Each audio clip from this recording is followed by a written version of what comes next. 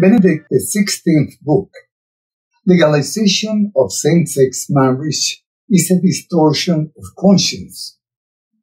In a new publication from Benedict XVI on September 16, 2021, called La Vera Europa, he expressed his views about the legalization of same-sex marriage, calling it a distortion of conscience.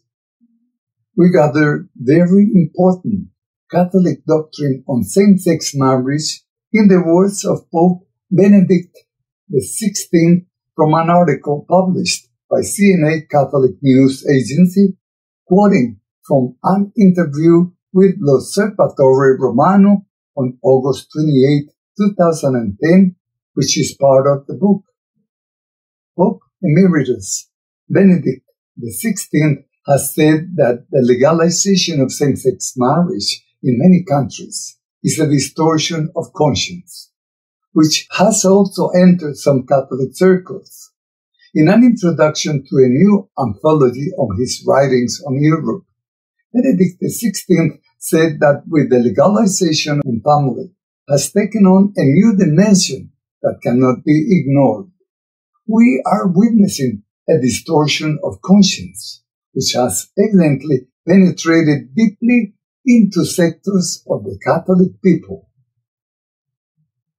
The Pope Emeritus wrote, This cannot be answered with some small moralism or even with some exegetical reference.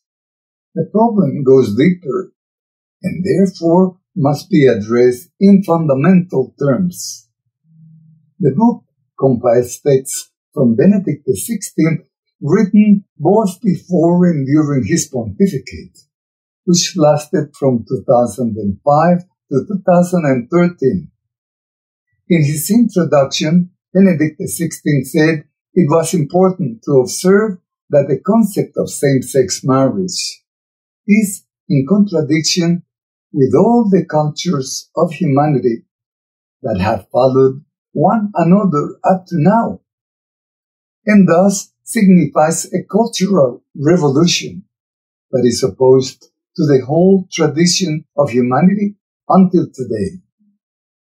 He pointed out that there is no doubt that different cultures have different juridical and moral conceptions of marriage and the family, such as the profound differences between polygamy and monogamy.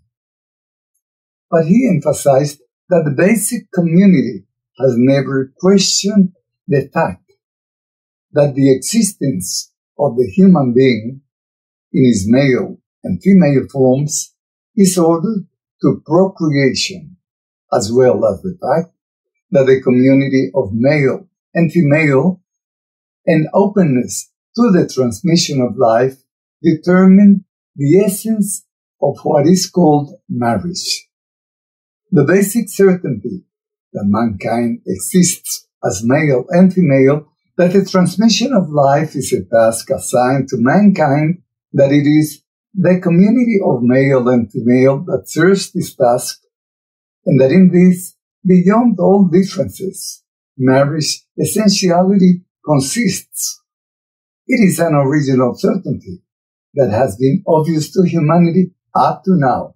Benedict said, the Pope Emeritus wrote that the fundamental upheaval of this idea was introduced with the invention of the contraceptive pill and the possibility it gave of separating fertility from sexuality.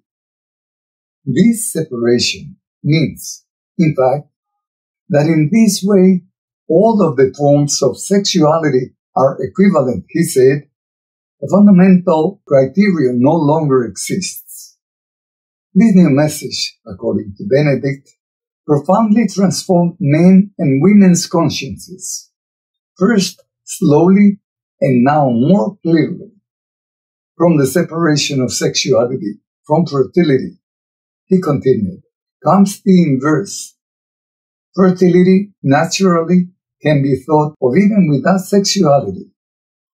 Benedict XVI noted that it therefore seems right to no longer trust the procreation of humans to the occasional passion of the flesh, but rather to plan and produce the human rationally.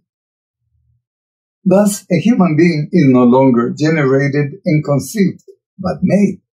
The retired pontiff underlined, which signifies that a human person is not a gift to be received, by the product planned by our doing.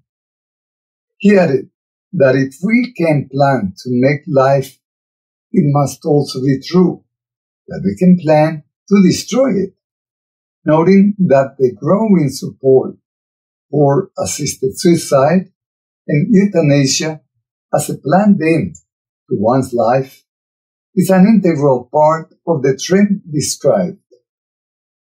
The question of same-sex marriage, he continued, is not a question of being a little more broad-minded and open.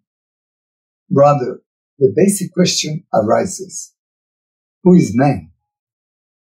And with it, also the question of whether there is a creator or if we are not all just manufactured products. This alternative arises. Either man is a creature of God. He is the image of God. He is a gift from God.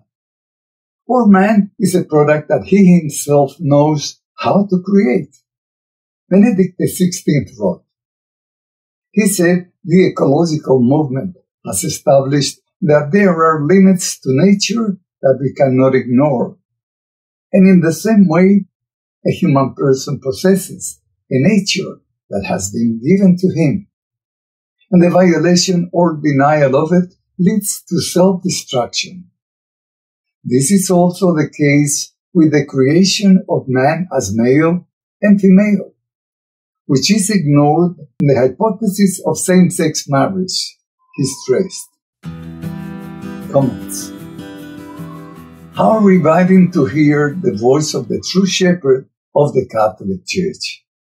For eight years, we have heard contradicting statements about homosexuality, and we have seen how the church has extended its support to the LGTB movement. There have been many ambiguous statements about homosexuals. One day they are defended. Another day they are not in communion with the church. But according to the head of the church, God is going to save us all, including those on the wrong side. Hmm, I wonder. Thanks be to God for keeping Pope Benedict alive. How great is to hear the voice of the real pastor of the church.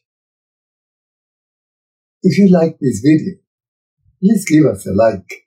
Subscribe to our channel, The Work of God. Share on social networks.